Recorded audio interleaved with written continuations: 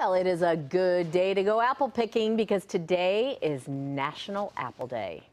Enjoy the fruit hailed for keeping you so healthy. If eaten daily, you won't need to see the doctor. An apple a day keeps the doctor away. Mm. You can enjoy an apple as is or have some fun and enjoy an apple pie, apple crisp, caramel, apple, ooh, yum, cider. Check it out. We have Chef Bryant Wigger of Tavernonna with us today. I always love your segments because you make things that are so pretty and they look so difficult, but you simplify them for me and the rest of us to make them easier to make. Absolutely. So I want to make things that, that people can do at home, right? Right. Because I can make some fancy things that Right. no one's ever going to try at home. So I might as well do something that is easy and fast. And with the holidays coming up, you can do this couple days ahead of Still time. beautiful. And be ready to go. Okay, so what is this that we're making? So today we're going to make an apple crostata. so crostata, that apple even sounds crostata is kind of like an open-faced apple pie. So we're going to cut this apple. To me, you peel it, half peel it. I like to have some texture, so I do Mm-hmm. A little bit of peel on. So we're going to just cut it in half.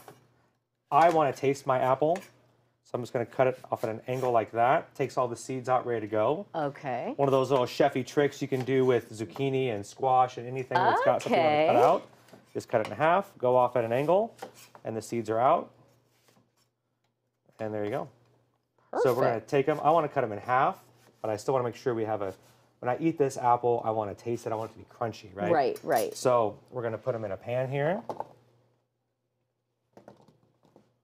And then we're going to give it just a little bit of butter. Because butter makes butter everything, makes everything better. Absolutely.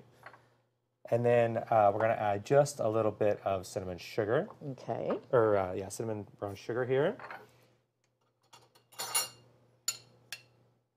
And then we're going to want these to get a little brown. So we're going to let them cook for, it'll take about maybe five or six minutes to really get them going. Okay. What we're looking for here is something just like, like this. So you've Okay. got the brown butter, the sugar, it all melts together. Kind of You coats save them that. really good. But are they still crunchy or are they soft? They're a little bit crunchy still Okay, too. So perfect. Um, and then we're gonna make something fun called frangipane.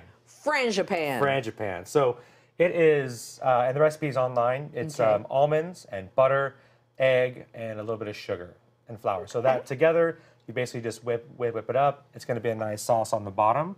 So let's go ahead and make one. okay, so this is just here. a pastry dough? Yep, this is puff pastry.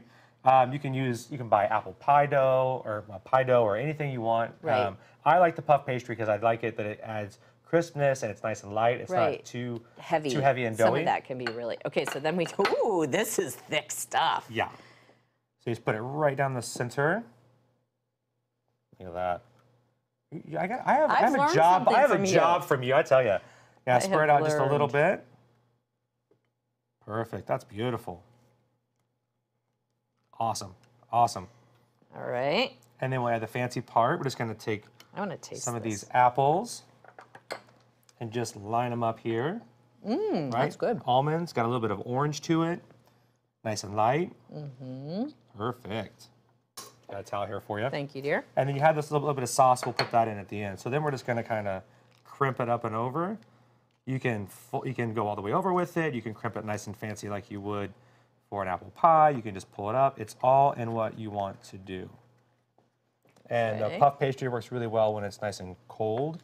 Uh, so you can get buy them frozen, take them out. Perfect. Look at that. You're so pretty. Very nice. All right. See, mine's all. And then do we get to do this? yep, the a little wash? egg wash around. I love that. it makes Perfect, it perfect. like shiny. Okay. Beautiful. So the magic of TV. Voila, voila. And here we have one already made. Look at that. There she is. Oh, yum, yum, yum. Tavernonna is located downtown inside the Hotel Phillips. Uh, you can make a reservation online at tavernonna.com. Make sure you try this wonderful fall recipe. We've done so much with, with veggies. I'm That's glad right. we did fruits today. Thank you so much for being here. Thank you.